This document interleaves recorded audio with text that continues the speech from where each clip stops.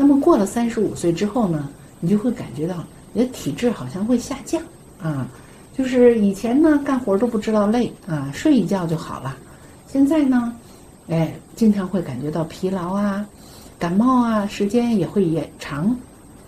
延长好几天不能恢复啊，嗯，这个很难修复啊，这么一个状态，我们叫亚健康啊，亚健康或者叫偏颇体质啊。这时候呢，就是从山顶上往下滑了啊，滑下来之后呢，就不稳定了啊，就出现我们叫偏颇体质，就身体很不容易保持平衡状态啊，就是出现一些小小的小问题。但是呢，这些小问题呢，就是注意啊，也是可以慢慢康复啊，也是可以慢慢这个调理啊，调整。那么再过三十年，也就是。到了六十五岁之后，